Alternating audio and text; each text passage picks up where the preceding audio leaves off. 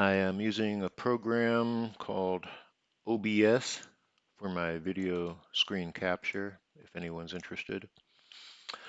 Um, all right, interesting thing about computers, a modern day computer, is um, all a computer can do essentially is add two numbers together. So maybe you're thinking, well, what about I have a calculator on my computer, it can do subtraction. How does it subtract? Simple, it adds a negative number. Okay, got that. What about uh, multiplication? How does it multiply? Well, it just adds a number over and over the designated number of times. Okay, what about uh, division? How does it divide? Well, it just adds a negative number over and over. Each time it does, it adds another one to a counter until it runs out of number and then it returns the difference. That's how you do division. Okay, so what's happening inside the computer, even though you're looking at values like 64, you know, 128, 37, whatever, those are for your convenience. What's actually happening inside the computer is a lot of little tiny switches that are on or off, and we refer to them in, as binary numbers, uh, one being on, zero being off. Uh, and what a computer does is it crunches those numbers. So like here I have a one and a zero, it crunches that and gets a one, right? Uh, here I have a one and a one. If it encounters that, then it flows over to the next spot like that. You see, uh, and here I have a one and a one. Uh, it flows over to the next, and there's already a one there. So then it flows over to the next. And that is all your computer is doing in a nutshell is constantly crunching numbers blindingly fast, you know, perhaps millions of times per second on a modern computer. And uh, since um, uh, processors reach the maximum physics uh, speed that a processor can po possibly process, now your modern computers will have two, four, eight, you know, 20 processors built in and can add numbers simultaneously. Okay, well, so much for adding numbers. Uh, what about, I'm seeing a bunch of colors on the screen and everything. How does that, how is that accomplished using addition? I will show you. Uh, we'll go over here to the C64 emulator. Let me go uh, full screen here. Ta-da. Okay, let me just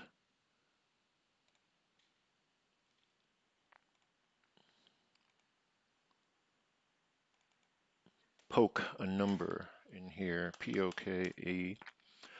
Um, and we're going to poke into a specific place in the computer's memory here, 53280. And we're going to put a value into memory of 2. We hit enter, and there you go. We have changed the border color of the computer. So what I have done is add a value to a place in the computer's memory that tells it what color to draw the border. Okay, let us do another one. How about poke uh, 53281 and we'll put a value of zero in there and it changes the background color to black.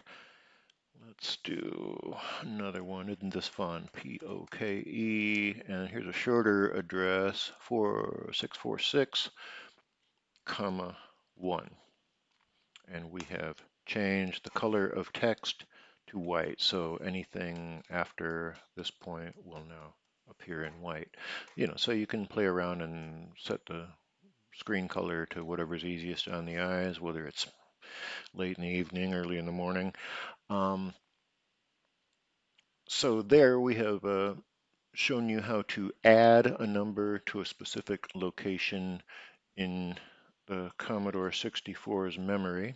Let me Alt D to go back to normal size. And let me just reset here, soft reset, and take the Commodore 64 emulator back to default. So I was saying, okay, what about screen colors? We've done that. Now let's do the exact same thing in assembly. I'm going to get out of Vice here and we're going to CBM PRG Studio. Uh, very first thing we're going to want to do is create a new project, tell it that it's for the C64. The CBM Studio can output to various um, types of computers. The earlier C16, Commodore 16, the later Commodore 128, and other various computer types. But we're doing C64. Let's go, uh, we'll call this video tutorials there. Um, and then it's going to the default location. I'll show you how to set that up next. There, I've created a new project. Uh, very first thing when you run cbm.prg studio, you want to go to Tools, Options, and under Project here, tell it you're outputting to the C64. Uh, you'll create a folder on your hard drive and then tell the program where to find that, that folder, where it stores all of your code, and we will go down here to emulator control and um, tell it where to find uh, uh, Vice. Okay. Uh, once you've done that, then it should automatically launch Vice when you publish a program. So let's go ahead and create a quick program in assembly. I'm going to right click here on assembly and go add and uh, we're just going to call that change background. Enter. All right, so very first thing, um, so you don't just uh, go 53280 equals a value. No, that'd be nice. But uh, when you're in assembly, you have to first put the value into the accumulator, it's called, and then transfer that over to the memory location. So the way we're going to do that, you go LDA for load accumulator with a value, and let's say I, I want to load a 2 in there. Now, if it's if you're loading a value, you want to use the hashtag ampersand whatever uh, before the value to tell you tell it that you're in immediate mode. If you just put a number there, it'll think it's a location in memory. See, so we'll have to go number two. And also here where we want to hit tab and indent in, um, if you put a value here, it, that is for uh, declaring constants or um, labels and other things that we'll cover later. Uh, Okay, so I've loaded a value into the accumulator. Next, I want to store that value into the same memory location, 53280, that I did using poke from BASIC. Okay, and the other thing, you need to tell it where in memory to put the program. So the way we're going to do that is we go asterisk equals, and we go all the way to the beginning of the user-defined memory space, uh, 828. That is pretty much it. There's a little bit extra I'll show you in a second. We'll go ahead and launch the program and it dumps the uh, assembly and you can actually see the numerical values. Here's, here's what we input and here is the code um, in hexadecimal which is 16 places as opposed to normal numbers uh, from 10 places that because you have 10 fingers. Um, but I'm not getting too deeply into that. Um, it shows you the hexadecimal values that are going into the computer, but this is just for your convenience. It's all a bunch of ones and zeros or ons and offs, little tiny, tiny switches being turned on or off. Okay, so then when you close that, it should launch Vice. And there, now the computer is in memory, but you're not going to see it till you call it.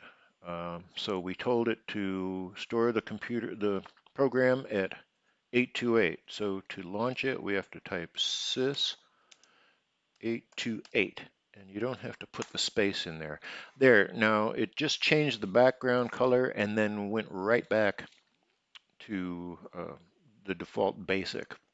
So it probably happened so fast it may not have even uh, been apparent on the video. So to be able to see that, we're going to have to tell it that the program has ended and RTS, returned from subroutine, or in other words, return back to basic. Okay, so now let's run that.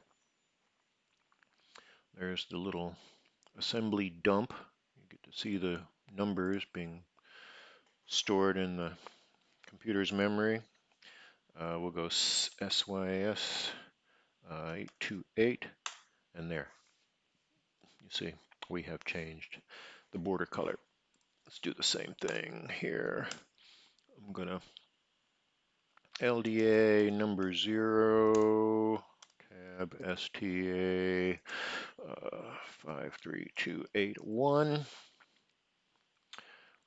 And just go ahead and run that. Let's get out of there.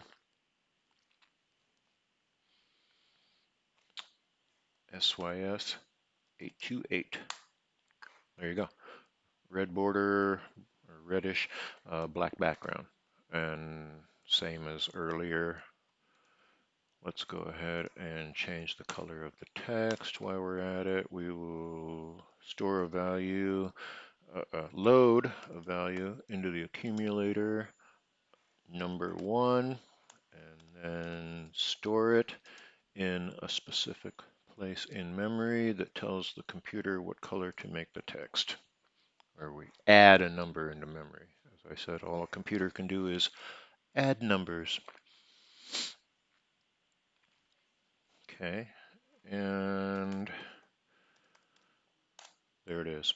So from now on, from now that the program's been executed, everything will appear in white text. When there, I just I just put some garble in there and hit enter, and it tells me there's an error because it doesn't understand. All right. Let's just reset this. Okay, if you know you get tired of typing sys 828 every time or sys whatever number you put here, there is a shortcut here. I can go up here to tools and go generate syscall and it will put a little bit of code that will automatically launch the program. Now this is going to give us a little messed up program, but I'm going to show you anyways. Whoa! So if you ever see this, um, possibly it's because you forgot to put a dollar sign there or, or, whatever. The number, this value is not high enough. You know, this value, the, the starting place in the program is higher than the program itself, and there's some overflow problem, I guess. Um, so we're going to use a higher value here. Um, instead of using a decimal value, a straightforward number, I'm going to use hexadecimal, and that is preceded by a dollar sign. 1000. Uh, that is not the value 1000. As you can see, when you hold the cursor over, there it shows you, let me do it again. There, uh, it shows you the value in binary, octal, decimal, and hex, and it is the value 4096. So let me delete that, and I will go back to Tools, Generate Syscall. There, you see it recognized the value that I have put there as the beginning of my program. I'm going to go OK, and it's going to add the appropriate bit of code. So when you hit here, it should auto launch the program this time.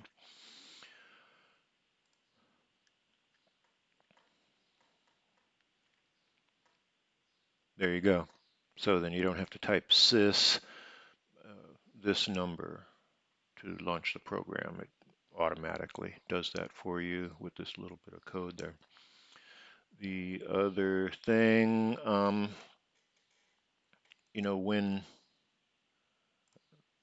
yeah, let me just exit Vice here for a second.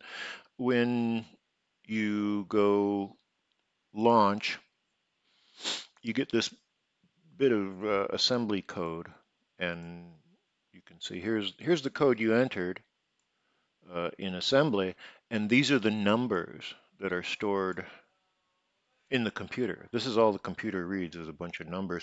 And this is just for your convenience. This is written in hexadecimal, 16 place uh, numbers, as opposed to uh, decimal numbers, which is 10 places, you know, because you have 10 fingers, what you're born with. That's relatively easy to relate to when you're a kid. Um, but I'm not going to get too deep into that. But um, these numbers are just for your convenience. What's really going on inside the computer is a lot of, well, they call it ones and zeros, but it's just a lot of little switches being on or off inside the computer there.